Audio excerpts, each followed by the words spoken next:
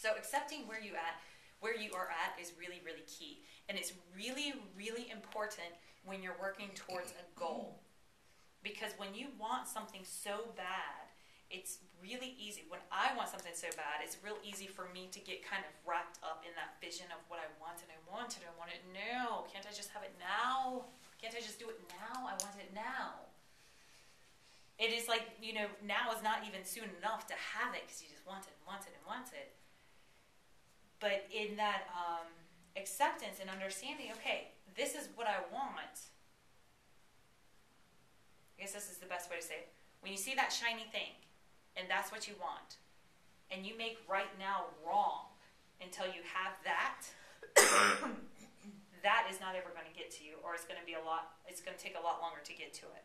But when you can say, okay, I made it to this point, and I'm going to celebrate the heck out of where I'm at right now, and understand that the only reason that I want the next thing is because I got right here, and you can get into gratitude for the circumstances that you currently have, then that that's really truly accepting the situation. And that acceptance and that gratitude for the situation opens up the energetic space and the possibility for things to start happening to where you can move to that next thing.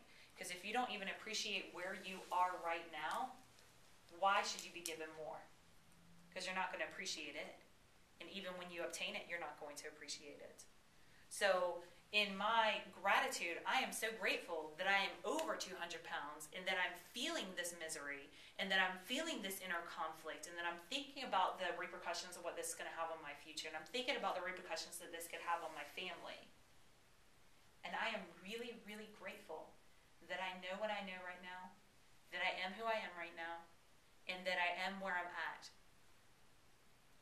in that acceptance and that gratitude of every day making choices that are that's going to serve my greater outcome and being glad that I made the choice so far in the day or so far in the week or so far in the month or so far in the year to going towards my goal when I can stay in that appreciation for where I am and understand that the only reason I want the next five pounds off is because I got the last five pounds off.